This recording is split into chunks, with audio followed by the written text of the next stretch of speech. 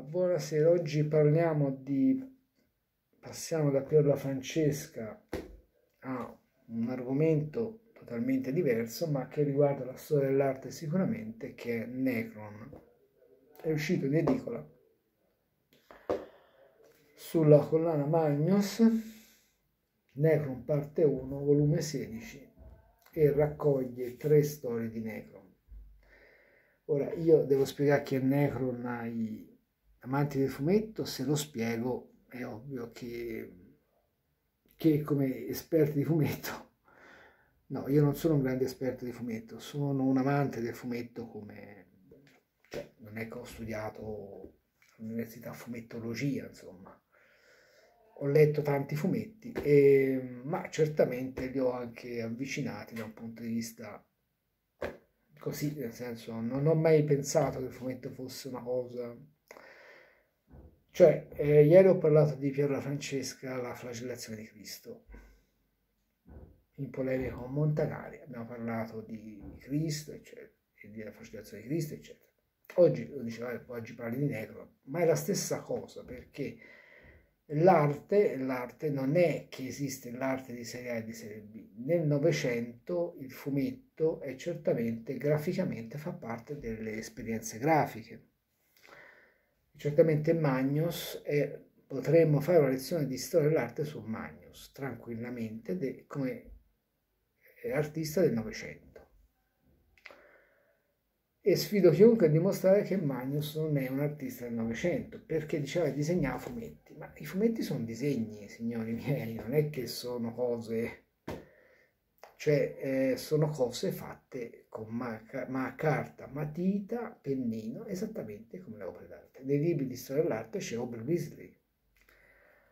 Aubrey Beasley, questo è un volume scassatissimo, eh, The Early Work of Aubrey Beasley, 1872, cioè qui fa ridere la cosa perché dire il lavoro giovanile di Aubrey Beasley che è nato nel 1872 e morto nel 1898 quindi a 26 anni sì, il lavoro giovanile di Obelisni è come dire, il lavoro giovanile di Mozart, sì, Mozart già molto vecchio rispetto a Obelisni.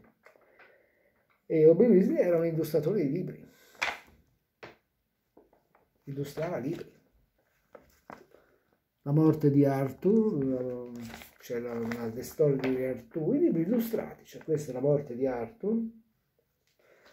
Eh, le storie di Re Artù ed era un illustratore di libri ed è considerato a tutt'oggi uno dei grandi protagonisti, potremmo citare, sembra essere, mi sembra di essere Guzzanti quando faceva la caricatura dei venditori di quadri, un grande protagonista del Novecento, ecco, ma lui era un grande protagonista del Novecento, anche se è morto nell'Ottocento, infatti, è morto illustrava The Yellow Book, quindi era un illustratore di libri, ma le sue opere tra i quali la più celebre è l'illustrazione della prima edizione della Salomè di Oscar Wilde, se l'avete in prima edizione di Salomè di Oscar Wilde tenetevela perché vale qualcosa, ed è un, perché alla fine dell'Ottocento la grafica, cioè ovviamente dalla stampa, un discorso che andrebbe ripreso un po' a lungo, con la stampa Dürer è un artista, eppure fa stampe, quasi se, sì, ha fatto anche dei quadri, ma non è famosissimo per i suoi quadri,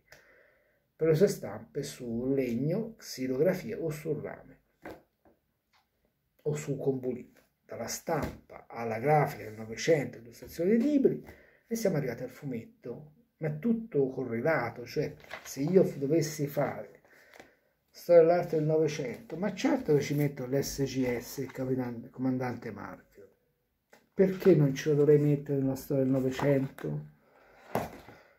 Io non sono un professore universitario di storia dell'arte, quindi posso dire queste cose tranquillamente e senza paura, nel senso mi rifaccio poi a... Cioè, di storia dell'arte in Italia abbiamo avuto Roberto Longhi, tra la fine della seconda guerra mondiale e ha iniziato prima e poi dopo la seconda guerra mondiale, il professore di storia dell'arte di Pasolini, tanto per dire, e Federico Zeri. Ora, Golonghi poi ha insegnato, so, vabbè, lo, guarda, molti di voi non sanno chi è Roberto Longhi e va bene così, nel senso che ma chiunque abbia studiato la storia dell'arte, Roberto Longhi in Italia è considerato la Bibbia, come Berenson, che era inglese, che visse, tutte e due sono vissute a Firenze, c'è la Fondazione Longhi e Villa Berenson, dove si odiavano, ma insomma Berenson era eh, ebreo di origini lituane, che poi naturalizzato a Londra inglese, insomma, e che viveva a Firenze perché era un appassionato dell'arte del Rinascimento, ovviamente.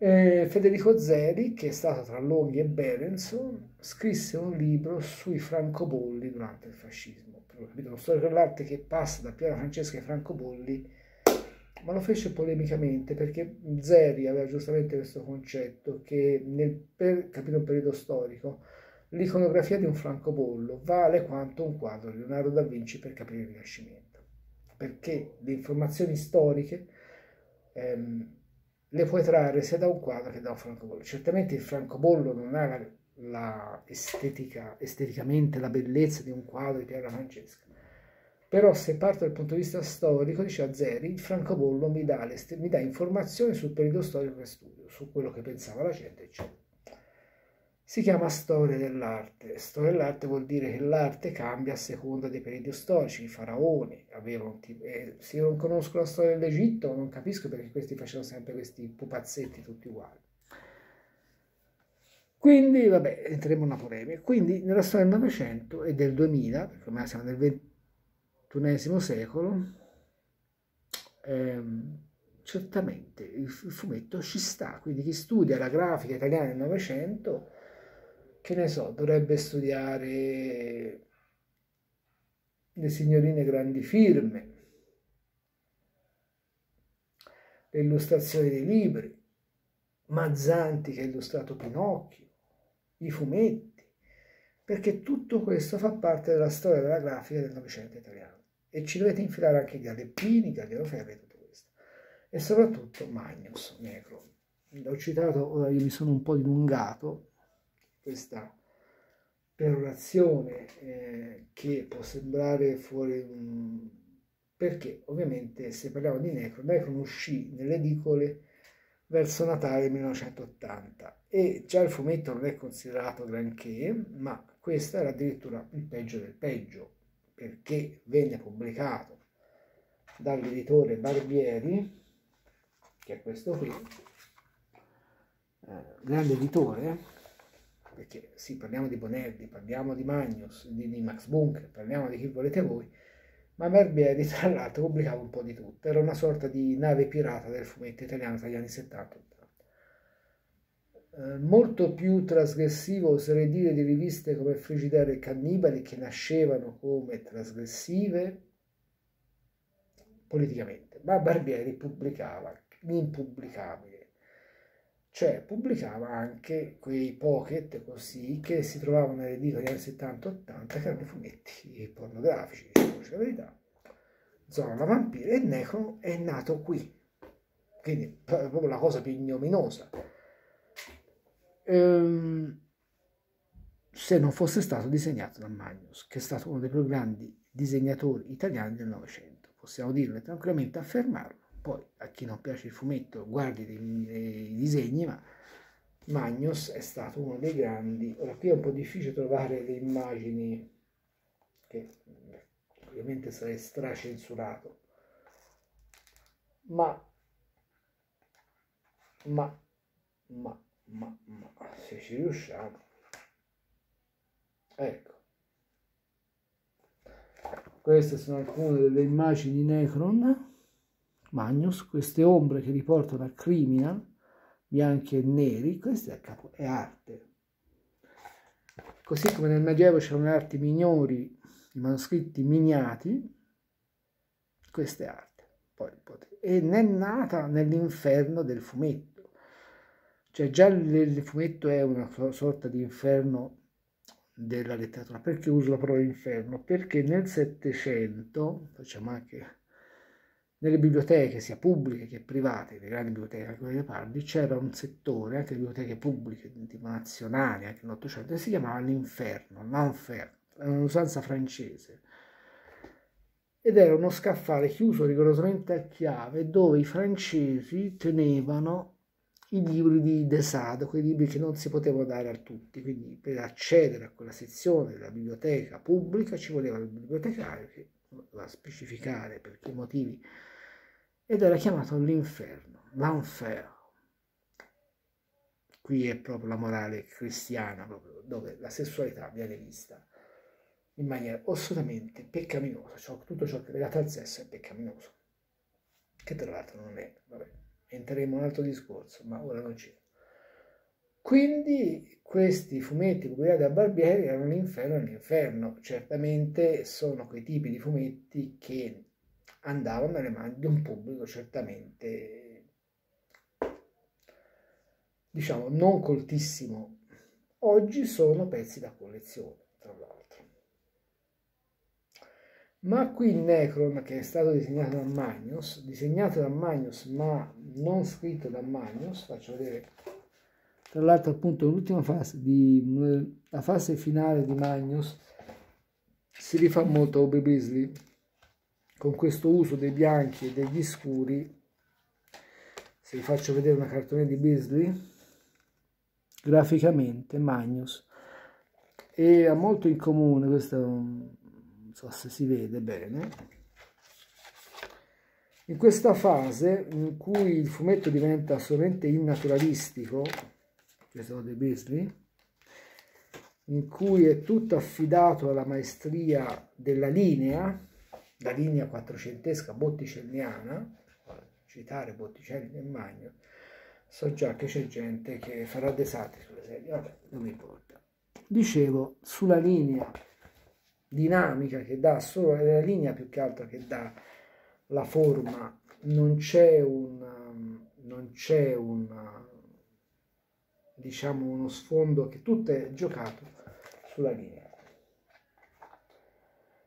e tra l'altro appunto c'è un paragone tra Beasley e Magnus perché sia Beasley che Magnus hanno ovviamente si sono dedicati all'illustrazione di opere proibite Beasley pubblicò illustrò in chiave erotica per l'Ottocento, quindi oggi fa ridere i polli, le commedie aristofane che come sapete sono un po' scollacciate.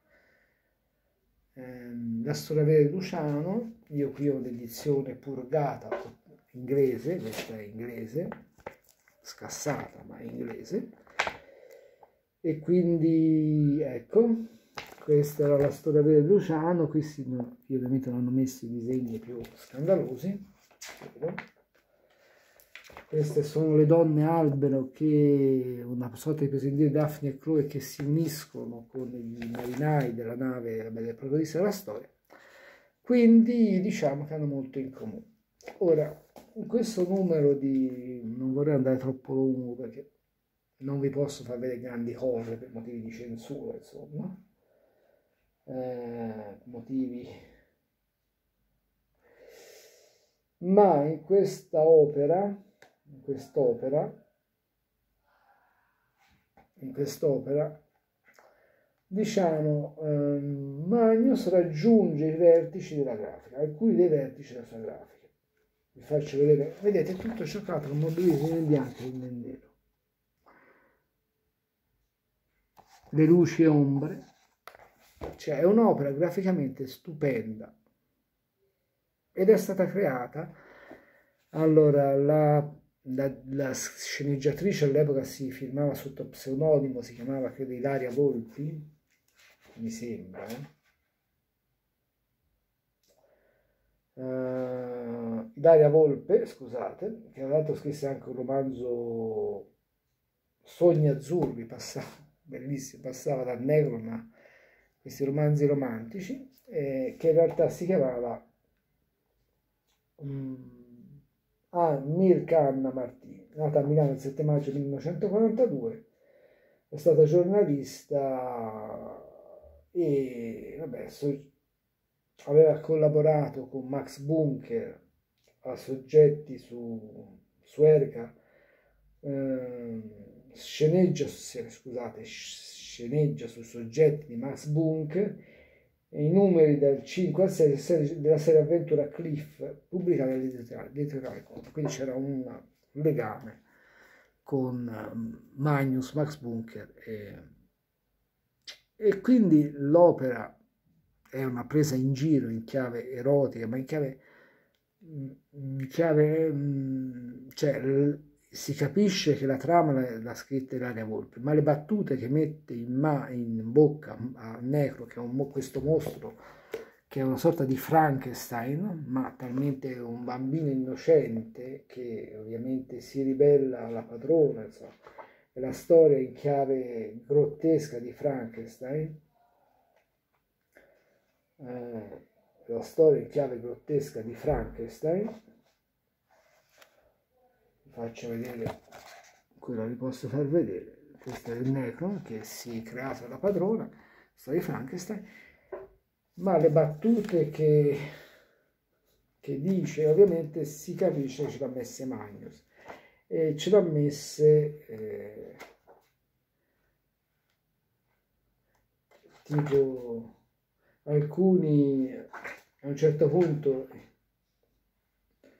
a un certo punto, per esempio, in una scena entra Necron, questo mostro, e il protagonista dice, oddio, un mostro nudo, ora tu vedi un mostro, non ti faccio fare caso se nudo ho visto. E un altro lo chiama mostro e lui, ma e Necron dice, se chiama me mostro, te, io te stronca. Che sono delle battute che rimandano ovviamente da Manford, lo cerco se riesco a farvi, a farvi vedere qualcosa, ma è un po' complicato.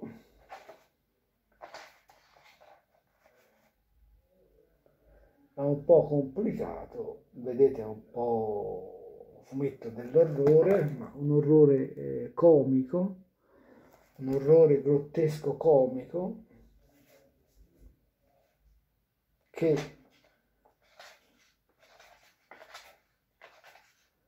eh, che eh, ci rimanda ecco qui vediamo Scusate, bellissime, delle battute che l'ha fatte, le aver scritte sullo magno. Dice, questo è il marinaio, dice un mostro, se, chiama, se tu chiama me mostro te stronca. Quindi siamo ai confini dell'horror, del grottesco, dell'erotico, ma siamo in, veramente in un capolavoro dell'arte, eh, dell'arte di tutti i tempi. Poi potete ovviamente vedere o non vedere, cioè comprarlo o non comprarlo, ma eh, certamente è un capolavoro dell'arte mondiale. Non è ovviamente i temi, il mostro cannibale, sono, sono temi abbastanza forti, perché lo so dire, ma oggi in realtà um, il, um, il, grottesco, l'horror, il mostruoso, Necro è stato sicuramente uno dei protagonisti del fumetto del Novecento, degli anni Ottanta, perché pur nella sua mostruosità, nella sua... Cioè è un, è un fumetto che ha creato scandalo, ha creato scandalo più di tante altre cose che oggi che si dice che creano scandalo in realtà non creano scandalo, quindi è qualcosa che vi può eh, sicuramente insomma, ma dal punto di vista grafico è uno dei capolavori del Novecento. Non è, non è, cioè, il lavoro che faceva Magno su queste tavole per un fumetto apparentemente da quattro soldi, eh, lui partiva da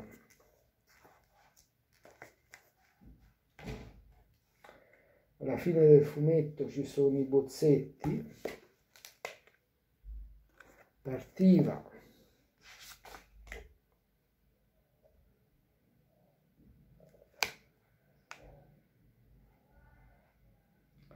Dalla carta millimetrata se riesco a trovare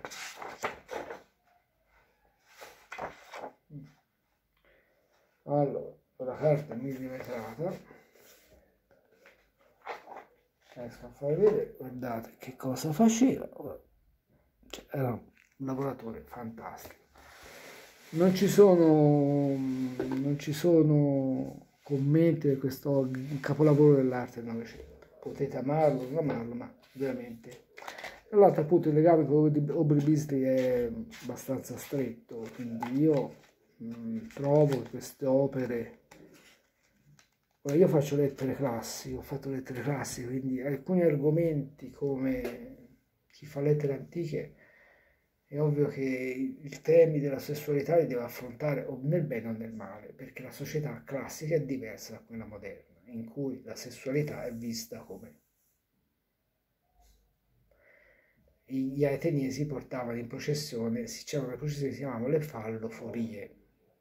Falloforia significa che invece portare dei statue, portava degli immensi eh, falli di Dioniso perché erano riti della fertilità. Quindi se uno studia l'antichità classica e se ha dei, questi problemi con il lato sessuale dell'uomo, ebbene non la faccia, faccia altro, si dedichi a teologia, oppure come è successo eh, fino all'Ottocento, anche nei licei classici, si è fornita una visione dell'antichità classica completamente distorta a Pompei c'era, oggi è visitabilissimo, il gabinetto segreto, insomma, dei, quelli che per noi sono reperti pornografici, che poi i pompeiani mettevano da tutte le parti, eh, statue scandalose che vennero rinchiuse in questo sgabuzzino. E quindi è ovvio che per me e per la mia formazione è ovvio che se tu studi autori come Spetronio e Apuleio o non li studi, o non studi l'antichità classica, oppure devi entrare in un ordine di pensiero diverso in cui la morale cattolica o islamica o ebraica, che in fondo è la stessa cosa, te la devi mettere un po' da parte.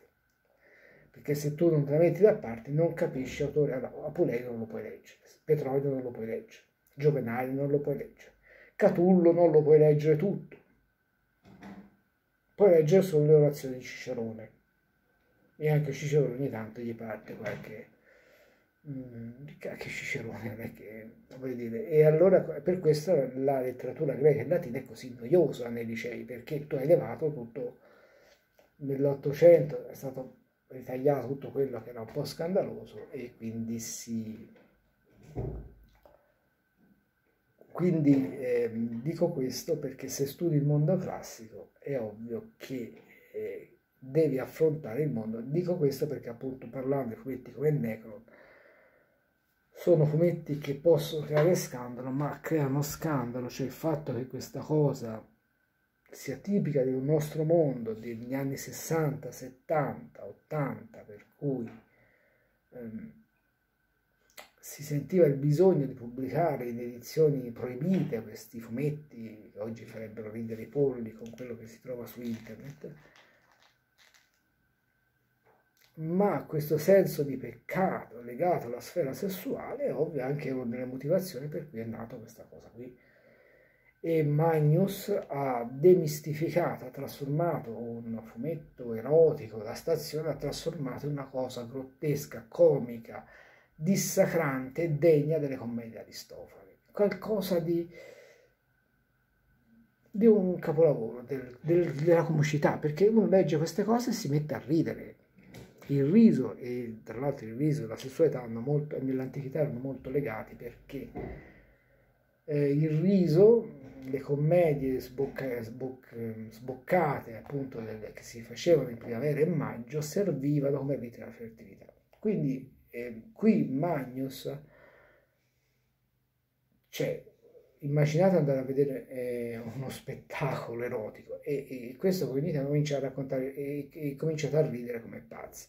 Capite che, si, che tutto lo, lo, lo, scopo primario si, si dissolve. Questo è il, Magn, il Necron di Magnus, perché qui tutto con le battute di Necron che dice arriva il marinaio e dice ho un mostro e il necro che risponde se te mi chiama mostro io te spacca è lo stesso principio di Frankenstein Junior no? qui si, il grottesco si dissolve si, si sfalda in una sorta di Frau Frau Hoer come si chiama Frau Hoer che appena si pronunciava quindi è la stessa cosa che ha fatto mi sembra Mel Brooks con Frankenstein quindi in realtà ha delle parentele con Frankenstein. Detto questo, chiudo, vi consiglio o non vi consiglio Necron, non lo so. È un capolavoro dell'arte del Novecento, fate voi, insomma, io non... Naturalmente, se siete pudibondi, eh, allora no, non lasciate perdere. Detto questo vi lascio e buona serata.